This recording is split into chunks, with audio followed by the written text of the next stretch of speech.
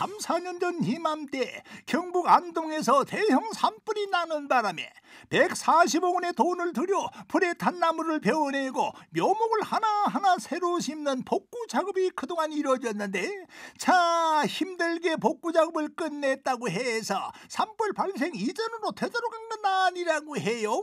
김병휘 안동시 산림과장 예, 복구를 했지만 장기적으로 완전한 숲으로 되기까지는 최소 30년 아니면 4, 50년 정도 지나야 어느 정도 목재 수확을 할 수 있는 정도가 됩니다. 라고 해서요. 그 무심코 한 실수가 수십 년 공들여 쌓아 올린 탑을 순식간에 무너뜨릴 수 있다는 걸 산불 현장이 똑똑히 보여주고 있습니다.